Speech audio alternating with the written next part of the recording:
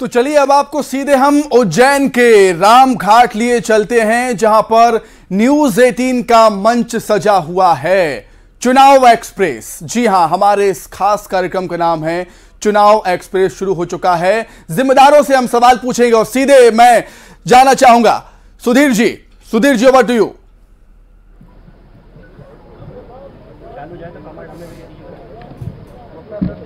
नमस्कार, मैं हूँ सुधीर दीक्षित और आप देख रहे हैं न्यूज़ 18 मध्य प्रदेश, छत्तीसगढ़। चुनाव का खास शो, चुनाव एक्सप्रेस लेकर हमारी टीम पहुँची है उज्जैन में शिप्रा के किनारे रामघाट पर, जहाँ पर हम नेताओं से चर्चा करेंगे, जनता के मन की बात जानेंगे और ये खास शो, चुनाव एक्सप्रेस लेकर इस वक्त हम मौजूद हैं। हमारे साथ यहाँ पर सभी पार्टियों के जो नेता हैं, जो प्रतिनिधि है, वो भी मौजूद है। साथ ही हमारे साथ मौजूद है जनता भी। एक बार तालियाँ बजाकर जनता का स्वागत किया जाए।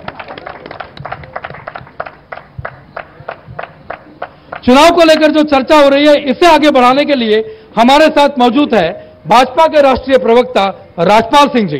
राजपाल जी स्वागत है आपका। जी नमस्कार। आम आदमी पार्टी से अनिल ठाकुर जी हमारे साथ मौजूद है।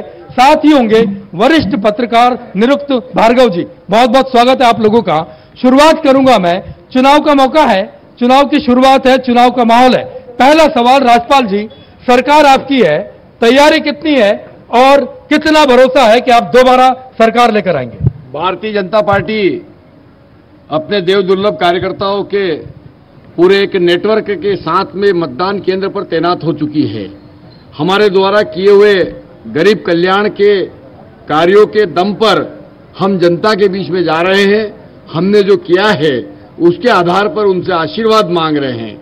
मध्य प्रदेश में किए हुए सर्वांगीण विकास को लेकर हम जनता के बीच में जा रहे हैं और जनता को हमारे किए लेकिन कांग्रेस का कहना है कि काम नहीं हुआ। कांग्रेस कह रही काम नहीं हुआ। देखिए कांग्रेस के लोग गाँव में आते हैं। जिस सड़क पर चल के आते हैं वो सड़क हमारे द्वारा बनाई हुई होती है फिर भी कहते हैं कि काम नहीं हुआ है। कोई देखना चाहे तो उसे दिखेगा पर कोई आँख बंद करके देखना ही नहीं चाह रहा है उसे कैसे दिखेगा? अगर कोई जग रहा है और सोने का बहाना करके पड़ा है तो उसको कैसे जगाए? अगर कोई सोया है तो उसे जगा सकते हैं। आम आदमी पार्टी से भी हमारे पास प्रतिनिधि मौजूद है अनिल ठाकुर जी। दावे कर रही है बीजेपी। राजपाल जी ने बताया कि बहुत काम हुआ है। क्या कहेंगे आप? सब दावे खोखले हैं। जनता ने देख लिया है।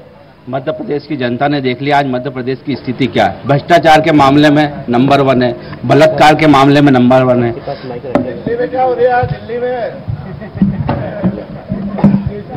हर चीज़ में, आज देख लो मध्य प्रदेश की जो हालत है आज। सब सब जान चुकी है जनता जनता को सब मालूम है, जनता अपने वोट के द्वारा, जो वोट के द्वारा जो है, वो जनता जवाब देगी। आम आदमी पार्टी मध्य प्रदेश में एंट्री करना चाह रही है। कितना भरोसा आपको लगता है? अलग अलग चीज़ें हो रही है आपकी पार्टी को लेकर। ईडी पूछताछ कर रही है शराब घोटाले में घेर रही है। क्या कहेंगे? डरी हुई है बीजेपी जब डर के मारे क्या करेंगे? ईडी सीबीआई का एक हथियार बना रखा है। बीजेपी डरी हुई है। क्या कहेंगे राजपाल जी? आम आदमी की पार्टी की बात मान भी लें तो डर के आगे जीत है।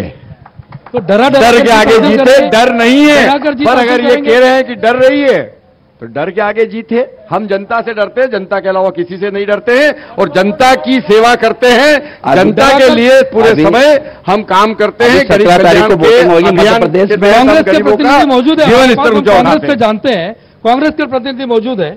बहुत बहुत स्वागत है आपका। डर के आगे जीत है बता रहे तो क्या डरा के जीत हासिल करेगी बीजेपी? बीजेपी का काम ये रहा है कि डराना एक भययुक्त प्रदेश बनाना ऐसी स्थिति कर दी है कि यहाँ महिलाओं को डर लग रहा है बलात्कार के नाम से उनके शोषण के नाम से। नेशनल क्राइम ब्यूरो की रिपोर्ट के अनुसार मध्य प्रदेश नंबर वन है महिलाओं के बलात्कार के लिए। यौन शोषण में नंबर वन है भ्रष्टाचार में नंबर वन है। यहाँ तक कि इन्होंने भग, इनको भगवान से भी डर नहीं लगा। लगातार और बात होती है लगातार बात होती है। अपराधों की आप बात करते हैं लेकिन बीजेपी आरोप लगाते हैं कि आप सिलेक्टिव होते हैं। जहाँ पर महिलाओं पर अपराध होता है, जहाँ कांग्रेस की सरकार है, वहाँ पर आप जबान नहीं खोलते। क्या मतलब है? आज ज़्यादातर बीजेपी प्रदेश के बाहुल्य सरकार है और यहाँ पर हाल ही में एक मासूम के साथ जो दुष्कर्म हुआ है, यहाँ की जिला प्रशासन, जिला पुलिस और शिवराज सरकार और जनप्रतिनिधि भाजपा की उदासीनता के कारण इन लोगों की कोई लगाम ही नहीं है। एक मासूम दुष्कर्म का शिकार हुई है और उसके अपराधियों को आज तक दंड दिलाने में असफल रहे हैं। ऐसी आवाज़ें छत्तीसगढ़ और राजस्थान में क्यों नहीं उठती? क्यों नहीं जाते आपके प्रतिनिधि? राजस्थान और Chhattisgarh. National crime bureau central में मोदी सरकार है भाजपा की सरकार है नेशनल क्राइम ब्यूरो वही हैंडल करते हैं। नेशनल क्राइम ब्यूरो के रिपोर्ट पोर्टल पे आप देख लीजिए कि वहाँ सबसे ज़्यादा मध्य प्रदेश को रेटिंग दी हुई है बलात्कार और शोषण में नंबर वन की। एनसीआरबी के आंकड़ों का ज़िक्र कर रहे हैं कांग्रेस के जो साथी हमारे वो। राजपाल जी लगातार वही सवाल आपसे करेंगे कि जहाँ कांग्रेस की सरकार है वहीं क्यों अपराध दिखते हैं? देखिए निश्चित तौर पर कांग्रेस का समय हमेशा से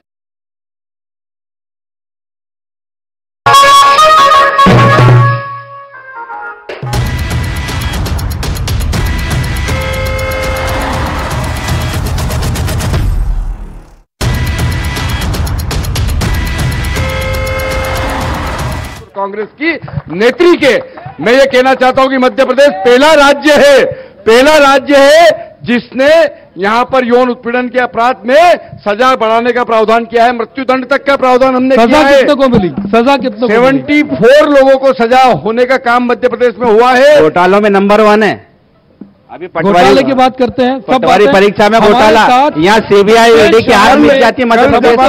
मध्य प्रदेश में सीबीआई की आँखें बंद हो जाती क्या है। यहाँ लगता के है? घोटाले क्या दावे कर रहे हैं? तीनों पार्टियों के प्रतिनिधि जो दावे कर रहे हैं घोटाले सही यहाँ नहीं आपको दिख रहे है? क्या कहेंगे इस पे?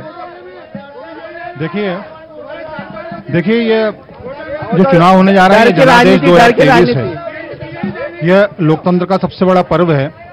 और ये खास बात यह है कि इसमें जनता की बात को छुपाते हुए, दबाते हुए राजनीतिक दल अपने अपने बात कर रहे हैं।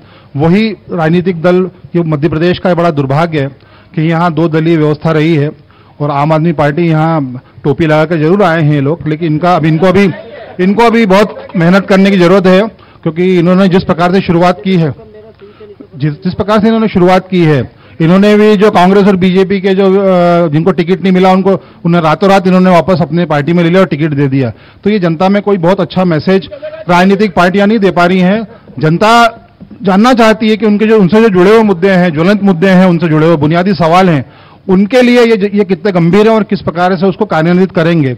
अगर ये कर पाएँगे, तभी चुनाव में जनता की भागीदारी आपको दिखेगी। अदरवाइज़ आज के समय में 20 दिन गुजर चुके हैं, जनता बहुत दिखाई नहीं दे रही है। आम आदमी पार्टी से सवाल है। आम आदमी पार्टी के प्रतिनिधि हमारे साथ आपसे सवाल किया जा रहा है कि अभी आपको बहुत सीखने की ज़रूरत है। मध्य प्रदेश की और छत्तीसगढ़ की राजनीति की बात करेंगे तो जिस तरीके से निरुक्त भार्गव जी बता रहे कि अभी आपको बहुत सीखने की ज़रूरत है, आप मानते हैं कि आपका ये शैशव काल है मध्य प्रदेश में? देखो जो दिल्ली और पंजाब की जो सर्वे टीम आई थी मध्य प्रदेश में उनने 230 सीटों पे सर्वे करा था। 230 सीटों पे सर्वे करने के बाद में आकलन करा। आकलन के हिसाब से उनने जो सीटें दी है 66 सीटों से आम आदमी पार्टी मध्य प्रदेश में फुल ताकत से अपना चुनाव लड़ रही है। मुद्दों की बात करेंगे कुछ लोग यहाँ पर मौजूद है हमारे साथ। उज्जैन शहर की जनता मौजूद है उनसे सवाल पूछेंगे जानने की कोशिश करते हैं। क्या नाम है आपका? स्वप्निल। स्वप्निल जी दावे कर रहे हैं आपने सुना दोनों पार्टियों तीनों पार्टियों को आपने सुना। उज्जैन में आपको क्या चीज़ लगती है कि काम होना चाहिए था और काम नहीं हुआ है? पहली बात तो मैं बताना चाहूँगा कि मैं उज्जैन से नहीं हूँ बट मैं पिछले तीन सालों से उज्जैन आ रहा हूँ और मैंने यहाँ देखा है कि कोई भी डेवलपमेंट नहीं है। बाबा महाकाल के नाम पे लोगों ने बड़े बड़े मूर्तियाँ लगाई। अरे पहले सुन तो लीजिए। मैंने किसी पार्टी का नाम नहीं शांत रहिए शांत। पहले उनको अपनी बात कहने दीजिए उसके बाद हम आपके पास भी आएँगे। पहले बात सुन लीजिए, उसके बाद पैसे बैठिए, पहले बात सुन लीजिए, उसके बाद उसके बाद बात करेंगे। आप बताइए, क्या कहेंगे आप? महाकाल लोग देखे, सब में पहले आके, कि मोदी जी ने कैसा काम किया?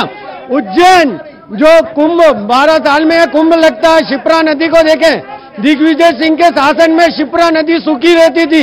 इन कांग्रेसी से पूछो कि शिप्रा में स्नान नहीं होता था। और मोदी जी के शिवराज जी के शासनकाल में आज शिप्रा हरी भरी है। बीजेपी के कुछ लोग हमारे पास यहाँ मौजूद है उनसे हम सवाल जानते हैं कि शिप्रा नदी की बात कर रहे हैं।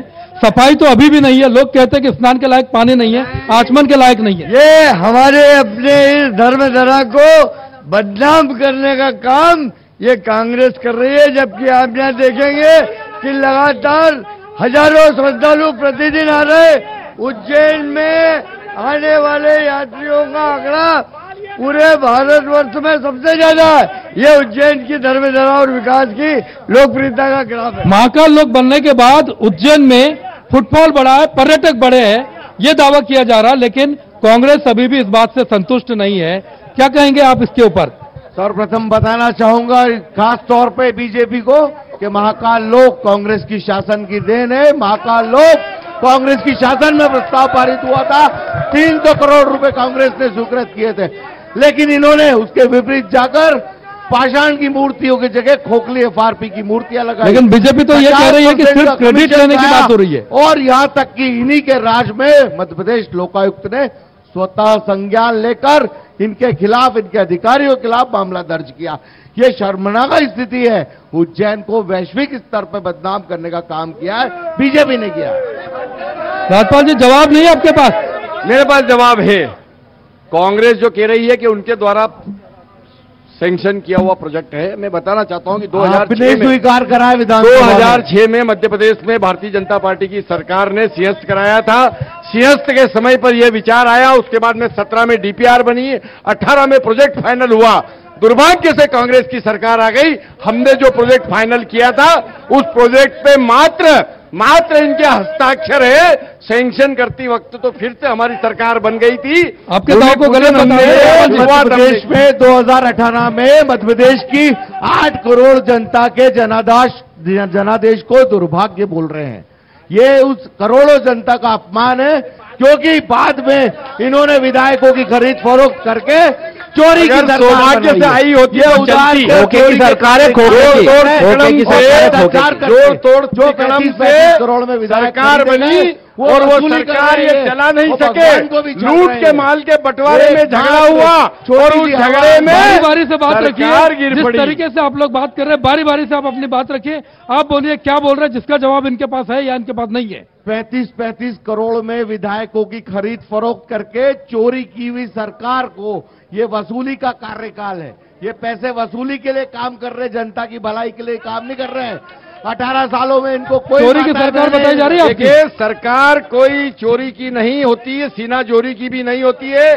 सरकार चलाते कमलनाथ को नहीं आई। लड़ वो पड़े झगड़ वो पड़े गिर वो पड़े। हमने तो हमारा धर्म निभाया।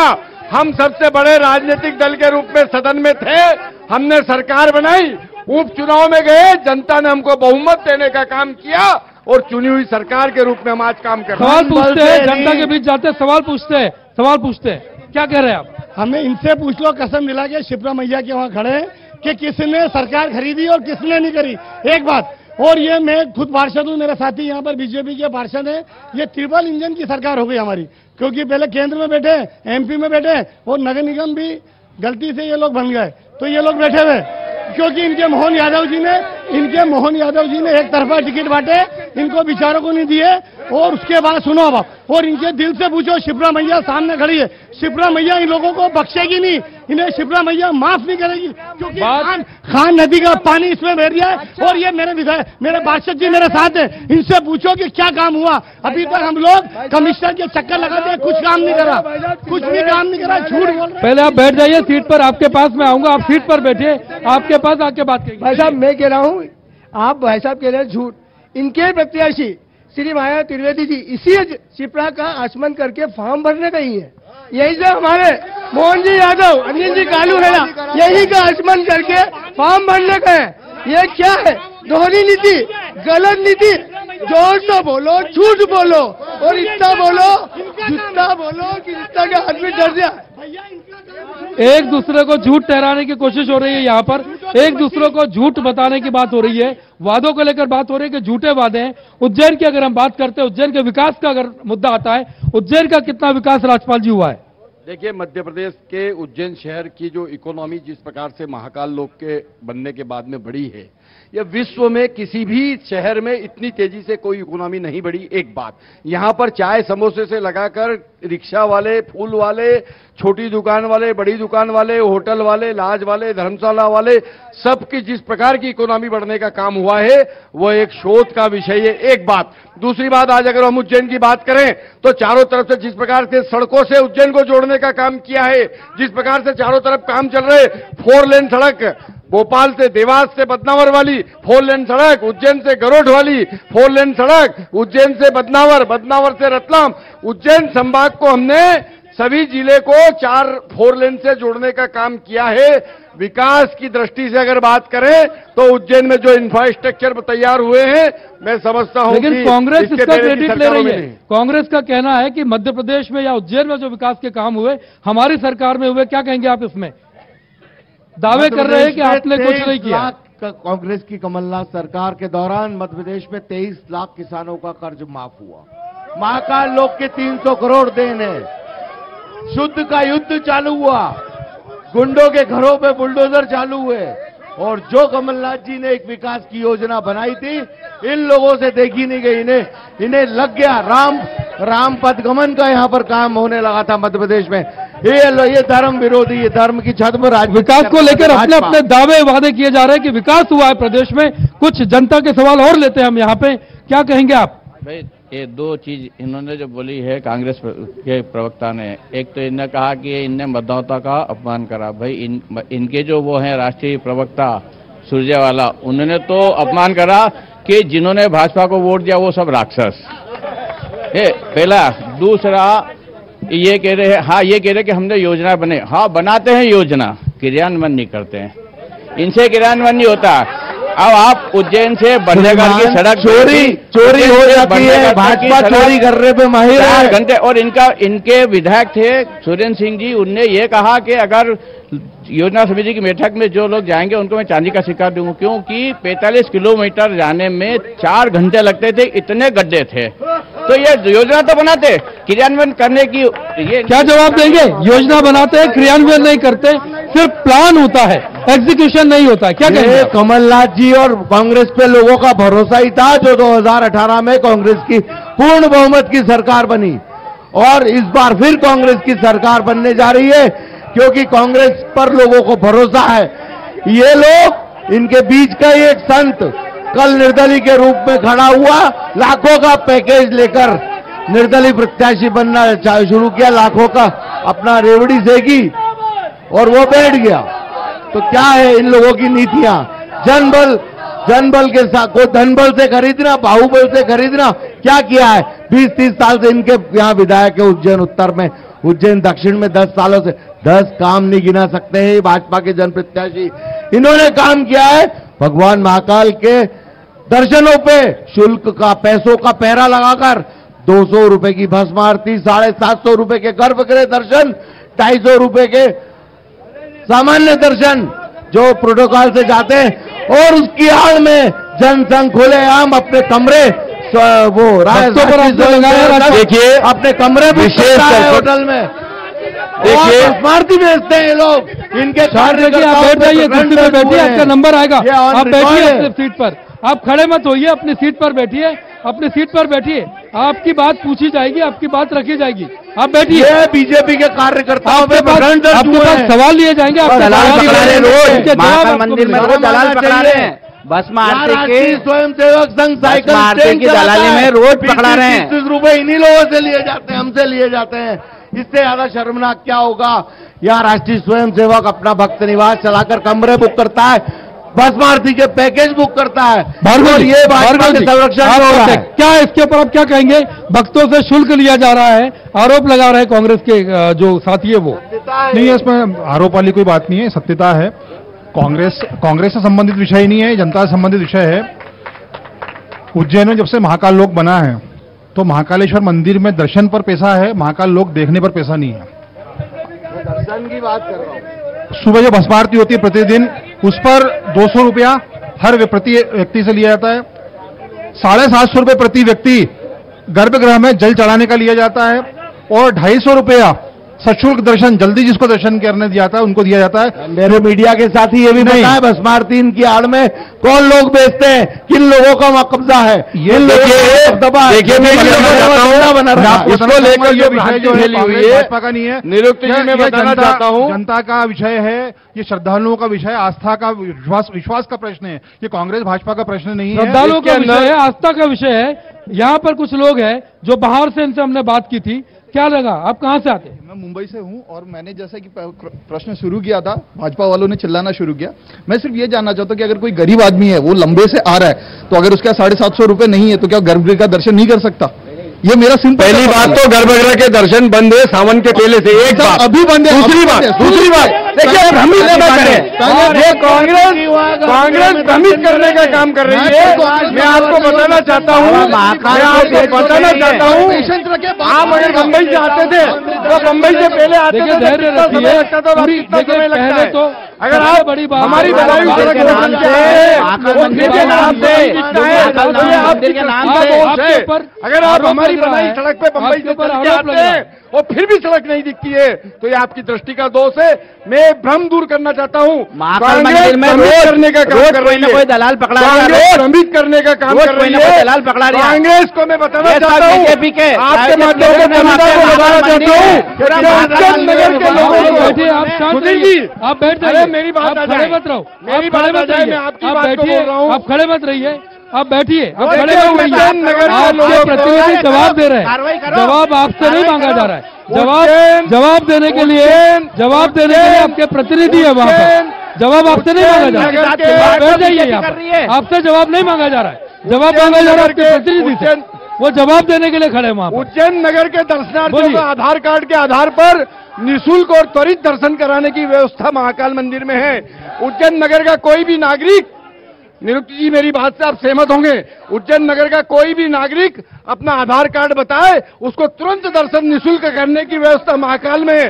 अगर किसी को त्वरित दर्शन करना है तो दूर कर किसी को शीघ्र दर्शन करना है तो उसके ऊपर दो सौ रुपए का शुल्क है वो शीघ्र दर्शन पे है। बाकी दर्शनार्थियों पे नहीं है। ये भ्रम फैलाया जा रहा है ये झूठ बोला जा रहा है। झूठ बोलकर महाकाल मंदिर की गरिमा को ठेस पहुँचाने का पाप महापाप कांग्रेस कर रही है। मैं कह रहा हूँ उज्जैन नगर के लोगों को आधार कार्ड सिर्फ़ बताना होता है। निशुल्क और त्वरित दर्शन विशेष दरवाजे से उनके होते हैं। विशेष दर्शन की बात है दर्शन की बात कही जा रही है। आपके आरोपों को गलत बता रहे हैं कि जनता को कोई प्रॉब्लम नहीं हो रही है। जनता से कोई पैसा नहीं लिया जा रहा है। बताइए। जनता हलाकान शेम, है। दूर दूर से वैश्विक को बदनाम करने की स्तर पे यहाँ पर श्रद्धालु आते हैं और बड़ा एक कटु और कड़वा अनुभव यहाँ से लेकर जाते हैं कि भगवान महाकाल के आस्था के लिए वो आए थे और अपने आप को ठगा सा महसूस करके जाते हैं। और पूरी दुनिया में सर्वसिद्ध बात है कई कई महाकाल थाने में प्रकरण भाजपा से जुड़े हुए देश के। सर्वाधिक दर्शनार्थियों को आने वाला मंदिर महाकाल मंदिर दर्ज हुआ है इस वर्ष में। अगर अव्यवस्था होती तो लोग क्यों आते। लोग इसलिए आ रहे हैं कि हमने सुचारू व्यवस्था देने का काम किया है।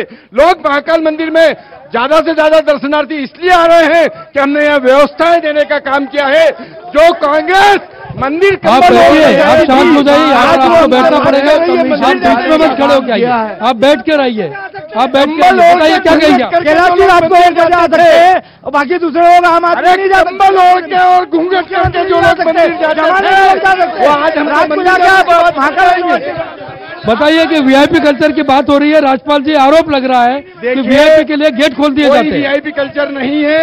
ये अगर तो किसी साफ़ व्यक्ति झूठ के है। पास समय का पूरी अभाव है दुनिया के सामने बीजेपी करना के चाहता है, तो शीघ्र दर्शन की एक व्यवस्था मंदिर प्रशासन ने दे रखी है के नाम पे दो झूठ बोला जा रहा है। शीघ्र दर्शन दुनिया ने देखा है कि इनके महासचिव कैलाश सभी मंदिरों में देश में विश्व में सभी मंदिरों में शीघ्र दर्शन के लिए एक छोटे से शुल्क की व्यवस्था होती है। वही व्यवस्था हमने यहाँ कर रखी है। क्या कहेंगे भक्तों के लिए कोई बाध्यता नहीं होनी चाहिए भक्तों पे कोई दर्शन के लिए कुछ होना नहीं चाहिए लेकिन बीजेपी ये कह रही है राज्यपाल जी कह रहे हैं कि ये व्यवस्था सभी बड़े मंदिरों में देखिए? बीजेपी की सरकार की चला चली की बेला है अगले महीने कांग्रेस की सरकार का मध्य प्रदेश में गठन होने वाला है तो चुनाव और गठन होने वाला है तो। कांग्रेस के शासन जाओ बैठो कमलनाथ जी के बगले पे और और कर लो गठन। दर्शन व्यवस्था गठन होने वाला अगले महीने और इनके उदाहरण सारे क्या चुनाव कराने की? निरुक भार्गव जी से पूछेंगे। भार्गव जी आरोप लग रहा है सब चीज़ों को लेकर ये कहते हैं कि हमने ये काम किया ये किया भक्तों का सवाल उठता है। अभी अभी आपने कहा था कि भक्तों को कोई दिक्कत नहीं होनी चाहिए लेकिन ऐसी व्यवस्था कमोबेश सभी मंदिरों में है तो जहाँ पर लोकल जनता को कोई समस्या नहीं आ रही तो फिर क्या प्रॉब्लम है? महाकालेश्वर मंदिर एकमात्र ऐसा मंदिर है बारह ज्योतिर्लिंगों में, देश में, जो ज़मीन पर स्थित है।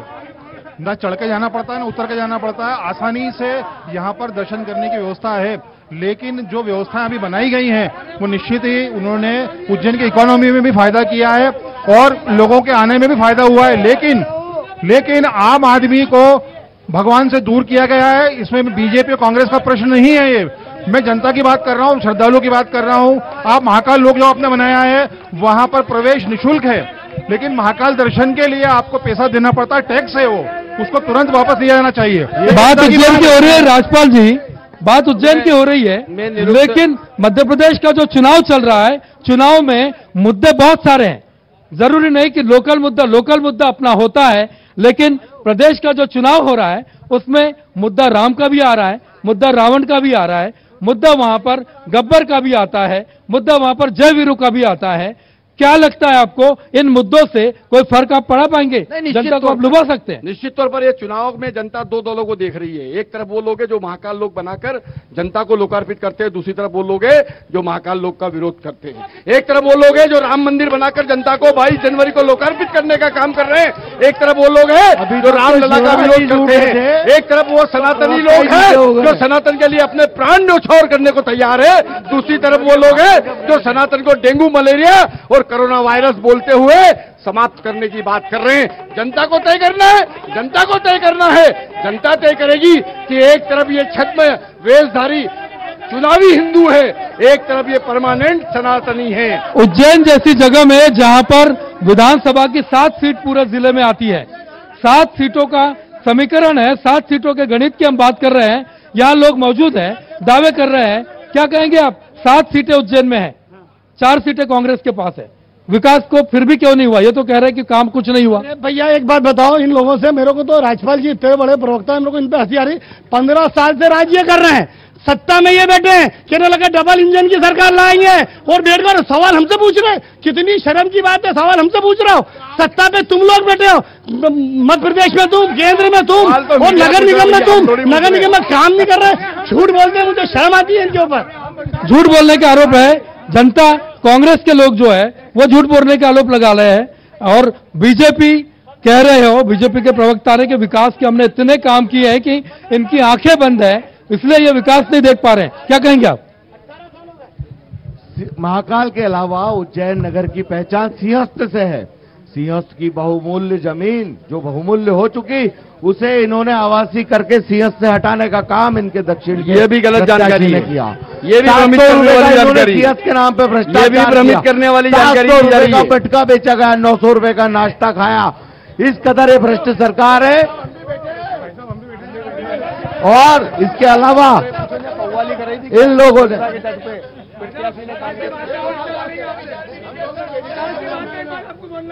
नहीं विचार आपके भी इनको भी मौका दीजिएगा ज़रूर क्योंकि इनके पास शायद ही कुछ कहने को क्या सवाल पूछेंगे आप? आप बताइए क्या क्या सवाल पूछेंगे कांग्रेस से? पहले तो ये बताइए आप कौन सी पार्टी से? मैं भारतीय जनता पार्टी से हूँ।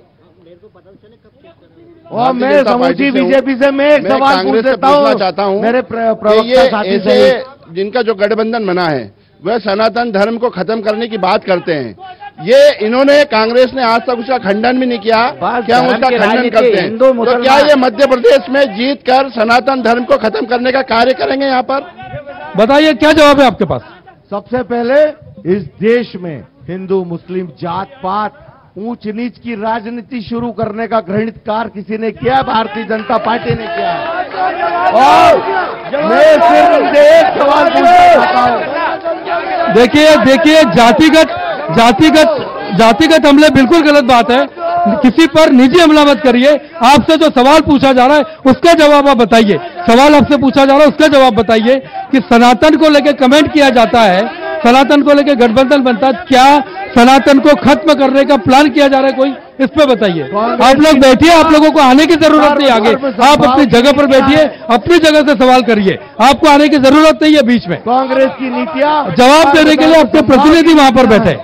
कांग्रेस की नीतियाँ सर्वधर्म संभाव की नीतियाँ हैं, धर्म निरपेक्ष नीतियाँ हैं, और कांग्रेस राम को भी मानती है, कांग्रेस रहीम को भी मानती है, कांग्रेस हनुमान को भी मानती है। हमारे भावी मुख्यमंत्री कमलनाथ, हनुमान के कितने बड़े भक्त हैं, ये प्रदेश की जनता अच्छे से जानती है। और ये ये छदम ये छदम बेच के इनके प्रत्याशी से मैं आपके माध्यम से सवाल पूछता हूँ शांत हो जाइए आप लोग एकदम शांति रखिए ताकि हर आदमी को अपनी बात रखने का मौका मिलना चाहिए। आप अगर ऐसे शोर करेंगे तो न तो उनकी बात आप सुन पाएँगे न उस पर आप सवाल कर पाएँगे। आपको सवाल उनकी सुनिए जो सवाल आपने किया है जो सवाल आपने किया पहले उसका जवाब आप और अपनी बात कहते हुए समूची बीजेपी यहाँ कार्यकर्ताओं से और प्रवक्ता साथी से पूछना चाहता हूँ और शिवराज सरकार से भी। सनातन धर्म के महाप्रतीक सिंहस्थ मेले की ज़मीन को यहाँ आवासी कराने का काम किया है कि नहीं किया है?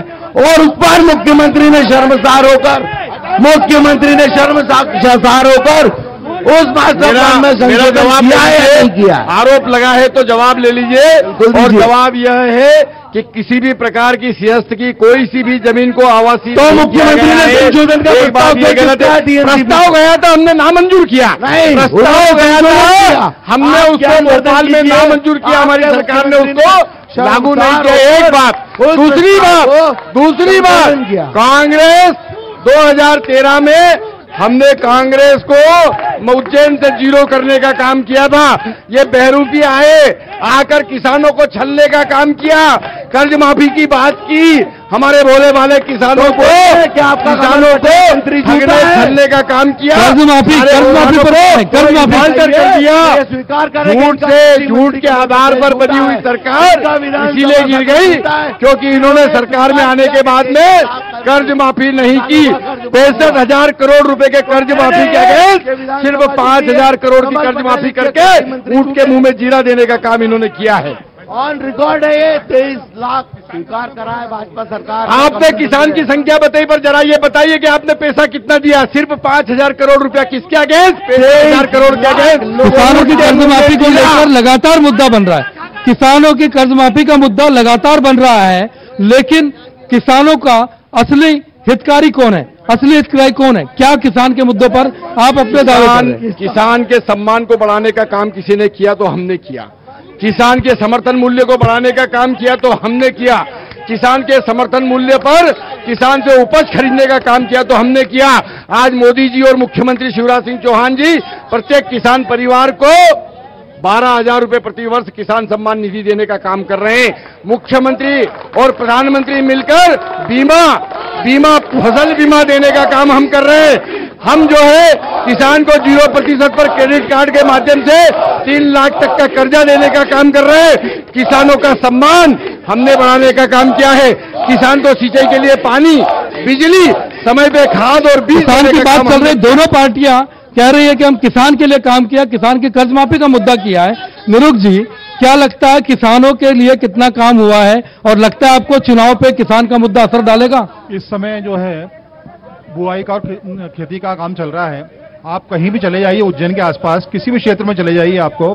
आपको मालूम पड़ जाएगा किसानों की क्या समस्या है। क्या उनको समय पर फर्टिलाइज़र मिल रहा है? क्या सर्टिफाइड सीड मिल रहे हैं? क्या उनको प्रॉपर बिजली मिल रही है? क्या प्रॉपर उनको पानी की सिंचाई की व्यवस्था हो रही है? अगर वो संतुष्ट हैं तो मैं दोनों पार्टियों को आप बोलेंगे उतना अंक दे दूँगा लेकिन मुझे लगता है किसानों को की बातें बहुत ज़्यादा हैं। हकीकत में किसान आज भी बहुत परेशान है। क्या कहेंगे? किसान परेशान बता रहे हैं। मैं खुद भी किसान हूँ। मीडिया खुद भी किसान हूँ। आज पर्याप्त मात्रा में फर्टिलाइज़र है। आज पर्याप्त मात्रा में बिजली मिल रही है। देखिए, जब बरसात के बाद में, ठीक बरसात के बाद में जब बिजली शुरू होती है तो कुछ स्थानों पर कुछ परेशानी होती है, उसको तत्काल दूर करने का काम हमारी सरकार ने किया है। आज पर्याप्त बिजली देते हुए हमने पानी की व्यवस्था यहाँ करने का काम किया है। आज 10 घंटे बिजली गाँव में खेती के लिए किसान को मिल रही है। 24 घंटे बिजली गाँव के फीडर पे मिल रही है। निश्चित तौर पर, निश्चित तौर पर नर्मदा जी के पानी के माध्यम से भी हमने सिंचाई का रकबा मध्य प्रदेश का बढ़ाया है। मध्य प्रदेश में जब 2003 में भारतीय जनता पार्टी की सरकार बनी थी तो 6 लाख हेक्टेयर में हम सिंचाई करते थे। आज हम पैंसठ लाख हेक्टेयर तक सिंचाई लेकर पहुँचने का काम हुआ है। 45 लाख हेक्टेयर में सिंचाई चल रही है और बाकी के 20 लाख हेक्टेयर में हमारे प्रोजेक्ट चल रहे हैं। इस प्रकार से मध्य प्रदेश को सिंचाई में हमने 10 गुना ज़्यादा बढ़ाने का काम हमने किया है। हमारी सरकार ने किया किसानों चुनाव का मुद्दा है इस समय आम आदमी पार्टी से जानने का प्रयास करते हैं। दोनों पार्टी किसान की हितैषी बनती है। क्या प्लान देश प्रदेश के लिए आपके पास है? दारू तो प्रत्याशी बेच रहे हैं किसानों को लेके। आप जानते तो हैं। मध्य प्रदेश की जो हालत है आज किसानों की ये भले भले भांति मध्य प्रदेश जानता है कि आज कि, किसानों की क्या हालत है। ये बोर्ड द्वारा मध्य प्रदेश की जनता इनको बताएगी क्योंकि झूठी सरकार है खोखो की सरकार है पैसों से खरीद हुई सरकार बनाई हुई है। किसान का मुद्दा हो रहा है कुछ लोग यहाँ पर है नेता के इसमें है नेताजी भी है लेकिन कह रहे कि मैं किसान हूँ। क्या फ़ायदा हुआ आपको किसान है या नेता है ये बताइए। वैसा मैं किसान भी हूँ और जन जनसेवक भी हूँ। मैं ऐसा ऐसा भी बताना चाहता हूँ यहाँ पर किसानों को कोई समस्या नहीं है। मैं खुद सौ बीघा का जगीदार हूँ। यहाँ पे फर्टिलाइज़र समय में उपलब्ध है पानी समय पर उपलब्ध है लाइट समय पर उपलब्ध है। कोई समस्या नहीं किसानों को। ये झूठी बात कर रहे हैं। किसान को दिग्विजय सिंह जी के शासन में जब नुकसान होता था फ़सलों का तो एक हज़ार रुपए का चेक मिलता था। ये उसका गवाह हूँ मैं। आज आज हमको तीस हज़ार रुपए बीघे के हिसाब से है हमारे खातों के अंदर। इतना पैसा मिलता किसानों को। भाजपा के किसान ये किसान और भाजपा नेता समाज सेवी है। एक किसान और खड़े हैं जो कांग्रेस की तो बात करते हैं। क्या कहेंगे आप? क्या करते हैं आप किसानी? मैं जानकारी चाहता हूँ मैं जानकारी चाहता हूँ कि माननीय प्रधानमंत्री ने जब किसानों का आंदोलन दिल्ली में चल रहा था उस समय उन्होंने कहा था कि एमएसपी को लागू करने के लिए उन्होंने एक कमेटी बनाई थी। उस कमेटी का फैसला आज तक आया? राजपाल जी क्या जवाब देंगे? किसानों का जवाब नहीं है। मध्य प्रदेश पहला राज्य है जहाँ पर हमने स्वामीनाथन कमेटी के आयोग की सिफारिशों को मध्य प्रदेश में उसके कुछ पार्ट को लागू करते हुए मध्य प्रदेश में कृषि को लाभ का धंधा बनाने का काम किया है। आज मध्य प्रदेश में अधिकांश ज़िले ऐसे हैं जहाँ दो फ़सल से तीन फ़सल पैदा होने का काम हो रहा है। सीहोर होशंगाबाद, हरदा, पूरे ज़िले में गर्मी की फ़सल, मूंग की उपलब्धता हो रही है। ये तभी हो रही है जब हमने सिंचाई का संसाधन उपलब्ध कराने का काम किया है। आज मैं अभी महितपुर से आ रहा हूँ। महितपुर में शिप्रा जी के ऊपर छह डैम बनाने का काम हमारी सरकार ने किया है। हर खेत को पानी, हर घर को पानी, ये देने के संकल्प के साथ हम काम कर रहे हैं। सवाल है किसानों के मुद्दे पर उभरते हैं बात हम करते हैं। मालवा की बहुत महत्वपूर्ण सीट है उज्जैन से। आपके यहाँ से उच्च शिक्षा मंत्री मोहन यादव आते हैं। शिक्षा की बात करते हैं सांदीपनी की हम बात करते हैं आश्रम की भगवान कृष्ण ने शिक्षा ग्रहण की थी। शिक्षा के क्षेत्र में उच्च शिक्षा का विषय मध्य प्रदेश सरकार में मोहन यादव जी के पास है। क्या काम हुआ? शिक्षा को लेकर कि कुछ तो नहीं हुआ। मध्य प्रदेश के प्रत्येक महाविद्यालय का उन्नयनीकरण हमने किया है। कई सारे नए विषय हम लेकर आए हैं। उज्जैन विश्वविद्यालय, विक्रम विश्वविद्यालय की अगर बात करेंगे तो आप देखेंगे कि यहाँ पर हमने कई सारे नए कोर्सेज चालू करने का काम किया है। उज्जैन निश्चित तौर पर शिक्षा की स्थली है और यहाँ से हमने जो काम शुरू किए वो पूरे मध्य प्रदेश के अंदर महाविद्यालयों के उन्नयन की बात की है। उसके साथ साथ में हमने जो है, यहाँ पर कई सारे नए कोर्सेज चालू करने का काम किया है। हिंदी में मेडिकल हिंदी में मेडिकल की पढ़ाई शुरू की है बीजेपी ने। आज तक इस उज्जैन को भाजपा मेडिकल कॉलेज का सपना दिखाती आ रही थी।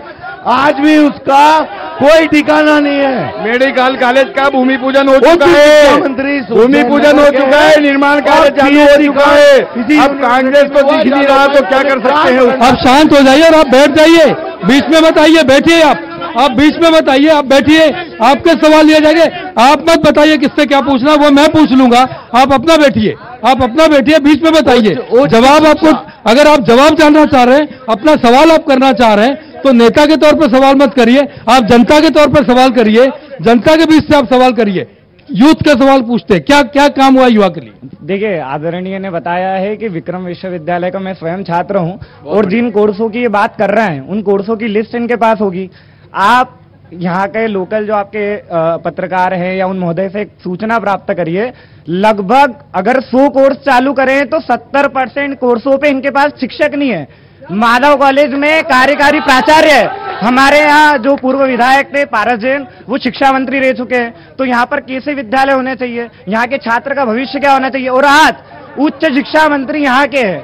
और उच्च शिक्षा मंत्री यहाँ के होने के बाद भी हमारे कॉलेजों की स्थिति क्या है? यहाँ के जो गवर्नमेंट कॉलेज है वहाँ स्थायी प्राचार्य नहीं है। हमारे माधव कॉलेज में इन्होंने बीएससी स्टार्ट करा। बीएससी पढ़ाने वाले शिक्षक नहीं पूछो इनसे है क्या? क्या जवाब है राजपाल जी? क्या जवाब देंगे इस पर? एक छात्र सवाल कर रहा है शिक्षा को लेकर। बीएससी एग्रीकल्चर बीएससी एग्रीकल्चर का हमने यहाँ पर कोर्सेज शुरू करे। और मैं बहुत अच्छे से ये बात बताना चाह रहा हूँ। मैं कई सारे परिवारों से और कई सारे छात्रों से मेरी बात हुई। किसानों के बेटे यहाँ से बीएससी एग्रीकल्चर कर रहे हैं। तीन, तीसरा साल ये बीएससी एग्रीकल्चर का यहाँ पर है। उसके अलावा हमने कई सारे अन्य कोर्सेज शुरू करने का काम किया है। मेरे मित्र, मेरे छोटे भाई, छात्र जो बात कह रहे हैं, हो सकता है किसी फैकल्टी के कोई शिक्षक की कमी होगी। वो भी शीघ्र दूर करने का काम हमारी सरकार करेगी। जब कोई नया सेटअप होता है तो छोटी मोटी असुविधा होती है। मेरे मित्र, जरा धैर्य रखिए आप।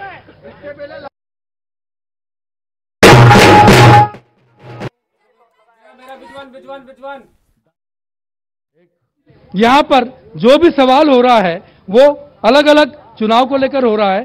क्या विकास हुआ है? उज्जैन की हम बात कर रहे हैं। शिक्षा की बात हो रही थी अपराधों की बात भी हो जाए। अभी आप आरोप लगा रहे थे कि अपराध बढ़े हैं। क्यों ऐसा चीज़ है? प्रमाणिक है श्री कृष्ण की शिक्षा स्थली को अपमानित करने का काम उच्च शिक्षा मंत्री के कार्यकाल में यही उज्जैन में हुआ है। इनके रजिस्ट्रार पर पुराणिक पर और साथी, चार साथियों पर लोकायुक्त ने एफआईआर दर्ज की, उन्हें हटना पड़ा। ये शर्मनाक बात है। शिक्षा स्थली कृष्ण जी की थी और मोहन जी भी, मोहन यादव यहाँ के उच्च शिक्षा मंत्री हैं, इसी शहर को देते हैं। क्या कर रहे हैं? यहाँ के प्राचार्यों को, शिक्षा के हमलों को चुनाव में झोंक दिया है। प्राचार्य स्वीकारते हैं, मेरे पास प्रमाण है, शिकायत कर चुके हैं कि सीएम की रैली में और प्रचार के लिए छात्रों को भेजने भेजने के लिए हमें ऊपर से दबाव है। इस तरह का काम यहाँ उच्च शिक्षा मंत्री होते हुए यहाँ पर दक्षिण प्रत्याशी कर रहे हैं। मुकदमे दर्ज हो रहे हैं। शिक्षक सर शर्मसार है। पैसे लेके ट्रांसफ़र हो रहे उनके ओएसडी कोई जैन थे, उनको स्वयं इसके लिए उन्होंने बर्खास्त किया है। इससे ज़्यादा प्रमाणिक बात कोई हो नहीं सकती कि इससे ज़्यादा शर्मनाक बड़ा आरोप है। बहुत बड़ा आरोप है राजपाल जी। क्या जवाब देंगे? जिनके नेता पर- झूठ है। जिनके नेता जमानत पर है जो भ्रष्टाचार की एबीसीडी लिख रहे हैं वो हमको भ्रष्टाचार का आरोप लगाएँगे। एक उंगली जब कांग्रेस हमारी तरफ़ करती है तो इनकी तरफ़ तीन उंगली होती है।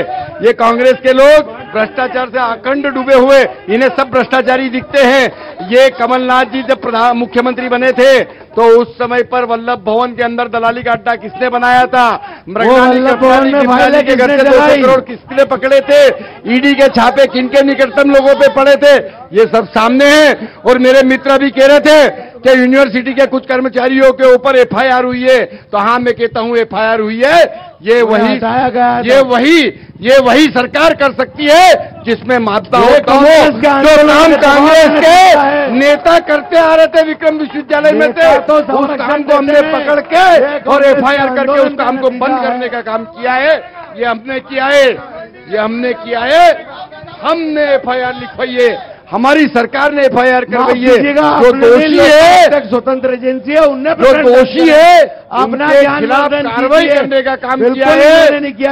हमने किया है। और हमारी सरकार में हुआ है। कुछ नहीं आप जिस प्रकार से आरोप लगा रहे हैं मैं आपको बताना चाहता हूँ कांग्रेस के नेताओं की लंबी फहरिस्त है जो विक्रम विश्वविद्यालय में बैठकर कांग्रेस। के एजेंडों का अड्डा इन्होंने बना दिया था आज विक्रम विश्वविद्यालय को कांग्रेस के उन नेताओं के चुंगल से मुक्त कराने का काम हमने किया है।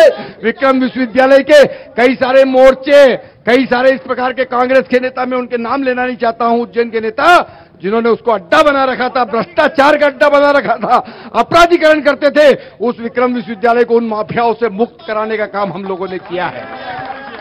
क्या कहेंगे? इन्हें अपना ज्ञानवर्धन करने की भाजपा को ज़रूरत है। लोकायुक्त ने उन चारों है प्रकरण दर्ज किया ना कि शासन ने।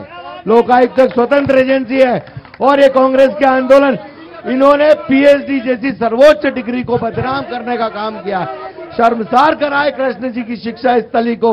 इन्हें इसके लिए माफ़ी भी मांगना चाहिए और जनता इन्हें आना, आने वाले चुनाव में सबक सिखाने जा रही है। दोषी कोई भी हो, कितना भी बड़ा प्रभावशाली व्यक्ति हो, अगर उसने अनियमितता करी है तो शिवराज सिंह चौहान की सरकार में उसके खिलाफ एफआईआर भी होगी और कायमी भी होगी वो करने का काम हमने किया है खुद शिवराज सिंह चौहान लोकायुक्त की जद में है डंपर कांड में आज आज तक वो एक हाईकोर्ट के स्थगन पे उनके प्रकरण पे बचे हुए जिनके नेता। जिनके नेता बेल पर है।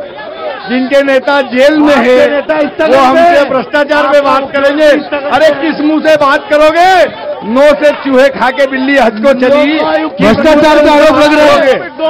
अगर कांग्रेस के नेताओं। पे कोई प्रकरण दर्ज होता है तो मोदी जी करा रहे हैं। और ये लोकायुक्त करा रहे हैं। क्या लोग हैं ये? तो मुँह ना? मैंने कहा कि आपके कड़वा यहाँ कड़वा ईडी के कुछ छापे और मीठा हैं मीठा तो मोदी जी करा रहे हैं। डबल वाले लोग ईडी ईडी छापे मार रहे हैं तो मोदी जी करा रहे हैं। और अगर कोई प्रकरण दर्ज होता है तो लोकायुक्त कर रही है। अरे शर्म करो यार शर्म करो। बताइए छापों की बात हो रही है? ईडी की बात आ रही है? लगातार लगातार बात आ रही है? भ्रष्टाचार की बात की है? अभी भी आम आदमी पार्टी से जानते हैं ईडी ने मुख्यमंत्री अरविंद केजरीवाल को पूछताछ के लिए बुलाया है। आरोप उन पर भी लग रहे हैं। मनीष सिसोदिया पे आरोप लग रहे हैं। आम आदमी पार्टी भ्रष्टाचार मुक्त का नारा या बिना भ्रष्टाचार के सरकार का नारा किस आधार पर लेकर जाएगी? देखो आरोप लगना एक बात अलग होती है। अभी आरोप लगे आरोप सिद्ध नहीं हुए।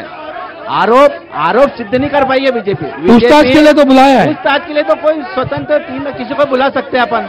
ऐसा नहीं अभी आरोप लगना एक गलत बात है। अभी आरोप सिद्ध नहीं हुए। बीजेपी डरी हुई है कि ईडी और सीबीआई को ईडी और सीबीआई को आगे रख के एक ईमानदार नेता को डरा रहे धमका रहे ईडी के दम पे। अगर आज आज बीजेपी में आज बीजेपी में अगर कोई आता है तो आप शांत रहिए आप लोग शांत हो जाइए उनकी बात सुन लीजिए। अगर जब आप सवाल कर लिया आपने जब आपने सवाल कर लिया है तो जवाब सुनने का मादा ऐसे रखिए। ऐसा नहीं है। सवाल के बाद मादा रखिए सुनने का। आखिरी के एक दो मिनट का समय हमारे पास अभी बचा है लेकिन जिन चीज़ों को लेकर अभी बात चलती है ईडी की बात चल रही है सीबीआई की बात चल रही है निरुक भार्गव जी भ्रष्टाचार का मुद्दा आ रहा है सवाल यह कर रहे हैं कि ईडी भेज दी जाती है सीबीआई भेज दी जा रही है लेकिन पूछताछ भी तो हो रही है। हाँ तो, तो होना चाहिए। जो। भी- जिसने भी भ्रष्टाचार किया है चाहे केजरीवाल हो या कोई भी हो उनको जेल में ही जाना चाहिए उसमें कोई शक नहीं है जनता का कहना क्लियर है। भ्रष्टाचार मध्य प्रदेश में भी इशू है। अब इसको देखते हैं कि कांग्रेस जब सरकार में आती है तो क्या करती है? क्योंकि डेढ़ साल जब आई थी ये तो कांग्रेस सब फ़ाइल दबा के बैठ गई थी। जी- जो इनने आरोप लगाए थे इस पर एक पर भी कार्रवाई नहीं की। तो कांग्रेस कोई दूध की धुली नहीं है। और मैं एक बात और कहना चाहता हूँ क्योंकि शिक्षा आप जो है यहाँ उज्जैन में है शिक्षा स्थली है ये। अगर बहुत ऐसा ऐसा दावा किया जाता है इसको अदरवाइज़ ना लें बीजेपी के या कांग्रेस के लोग ऐसा दावा किया जाता है कि मध्य प्रदेश पहला राज्य है जिसने नई शिक्षा नीति को सबसे पहले इंप्लीमेंट किया। ये ऐसा दावा है। आप मुझे बताएँ मैं पूछना चाहता हूँ ये प्रश्न जनता की ओर से क्या से क्या एक भी कॉलेज या विश्वविद्यालय मध्य प्रदेश का टॉप हंड्रेड में है देश में? आप ताली बजाइए आप लोग। ये जवाब अगर वो दे देंगे देखिए ये जवाब पूछिए कि शिक्षा के लिए नए नए प्रयोग किए जा रहे हैं तो क्यों कोई हमारा विश्वविद्यालय टॉप हंड्रेड में नहीं जाता है। देखिए जिस प्रकार से शिक्षा की व्यवस्था को कांग्रेसीकरण और कम्युनिस्ट दक्षिण पंथियों ने अपना कब्जा कर रखा था उस कब्जे से मुक्त कराने का काम हमने किया है नई शिक्षा पद्धति नई शिक्षा प्रणाली लागू करने का काम किया है और जब नई शिक्षा प्रणाली लागू हुई है अमूलचूल सुधार हुए तो आप देखोगे इसका रिज़ल्ट भी एक दो साल में आएगा। हम टॉप यूनिवर्सिटीज में पहुँचने का काम करेंगे। देखिए देखिए राजनीतिक राजपाल जी राजनीतिक। ये वादा नहीं है। इस दिशा में हमारा काम चल रहा है। हम इस दिशा में प्रयास कर रहे हैं। इस दिशा में नीतियाँ बनाकर हमने विश्वविद्यालय के सिलेबस इत्यादि में परिवर्तन किया है। देखिए एजुकेशन की बात हो भ्रष्टाचार की बात हो शिक्षा की बात हो शिक्षा की बात हो भ्रष्टाचार की बात हो या फिर शिप्रा नदी की सफ़ाई की बात हो उज्जैन में इस वक्त हम मौजूद है। सात विधानसभा सीटों वाला ये जिला है और यहाँ पर चुनाव की जो रफ्तार है वो काफ़ी तेज है। लेकिन न्यूज़ 18 की चुनाव एक्सप्रेस की टीम उज्जैन में पहुँची है और अगले पड़ाव पर मंदसौर में कल मंदसौर के संजय गांधी राष्ट्रीय उद्यान, संजय गांधी उद्यान में एक बार फिर आपसे मुलाकात होगी। तब तक के लिए नमस्कार और आप सभी का बहुत बहुत धन्यवाद।